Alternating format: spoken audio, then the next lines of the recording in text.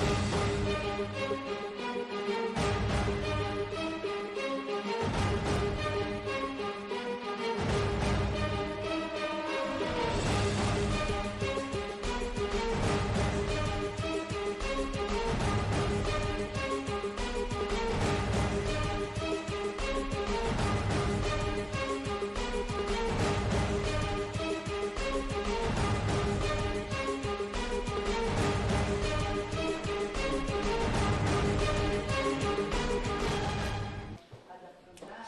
Settima edizione del Certamen, quali sono le peculiarità che contraddistinguono questo evento ed in particolare l'edizione di quest'anno? Allora, la base, diciamo, il filo conduttore è quello che ha portato ad arrivare al settimo certamen con tanto successo. È stata sempre una prova apprezzata sia sul territorio che in, nostri, dalle altre scuole della regione vicinitorie ma quest'anno l'unica novità è che l'abbiamo diluita nel tempo. I ragazzi stanno, si stanno cimentando in questo momento eh, con la prova del grande certamen, eh, poi stasera ritorneranno a casa e sabato saranno tutti quanti qui di nuovo sul territorio per festeggiare con noi il momento clou della manifestazione. Eh, cresce tanto eh, il grande certamen, ma ancora di più il piccolo certamen e questo ci fa enormemente piacere perché scoprire che nelle scuole medie ragazzini di 12 anni, 13 anni si avvicinano al latino in questo modo eh, è molto molto benaugurante. Perché? Perché in questo momento diciamo che la cultura classica e il liceo sta subendo un attimino di crisi, come è quella la crisi economica della nazione, ma noi ci crediamo e difenderemo fino alla strega questa cultura.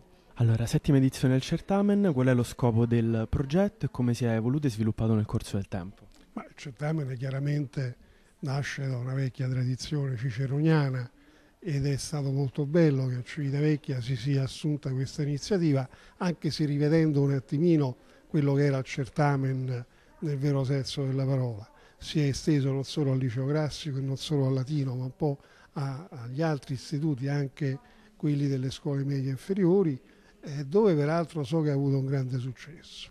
Sono sette anni che viene eh, fatto nella nostra città il certamen, sono sette anni ognuno eh, sempre, che ha visto sempre più la presenza dei, dei giovani, una presenza importante. Parlavamo prima della, eh, Olimpiadi della, della, cultura e del talento, ritengo che il certamen un po' più limitato da un punto di vista scolastico sia comunque un altro fatto importante per i giovani della nostra città, del nostro territorio, ma non solo, perché poi vengono un po' da tutte le parti d'Italia ed è un fatto importante anche per Civitavecchia e per la nostra cultura. Come è stata recepita e vissuta dagli studenti questa iniziativa?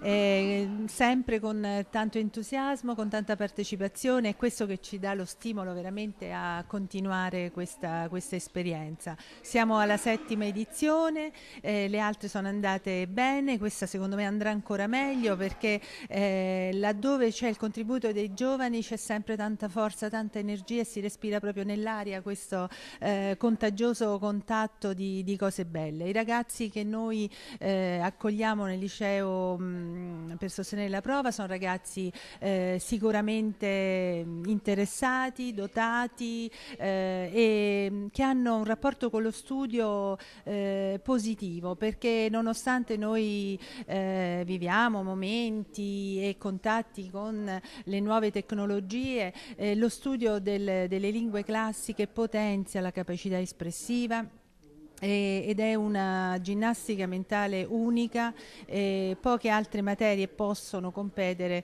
eh, con, eh, con, la cultura antica. Eh, noi come mm, Civitavecchia, come luogo diciamo, di, ehm, abitativo, come città, eh, non possiamo rinnegare le origini, eh, Civitavecchia era il porto di Traiano e questo certamen intitolato a Traiano non fa altro che sottolineare le origini eh, antiche della nostra città. Eh, tra l'altro anche le terme taurine sono della stessa epoca.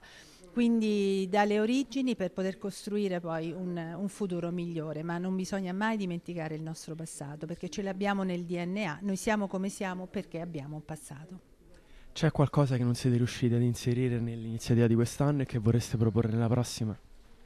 Beh, eh, certamente gli altri anni avevamo eh, il laboratorio teatrale che eh, elargiva la sua performance in occasione del, del certamen, quest'anno per un discorso eh, legato ad un ridimensionamento dei fondi abbiamo dovuto rinunciare ad alcune cose. Eh, certo sarebbe bello coltivare tutto, però eh, occorre sempre fare i conti con con l'economia. Eh, la manifestazione è rimasta assolutamente integra nella sua essenzialità, nella prova di latino che si estende dalle scuole medie fino a quella dei licei del territorio. Eh, però ecco, ci auguriamo che in, in, futuro come in passato si possa ecco, anche corredare il tutto con altri momenti. Eh, ma già così siamo veramente soddisfatti di aver portato a termine il progetto nel migliore dei modi perché, ripeto, il discorso di prima, l'entusiasmo dei ragazzi è stato contagioso e fondamentale per il nostro lavoro.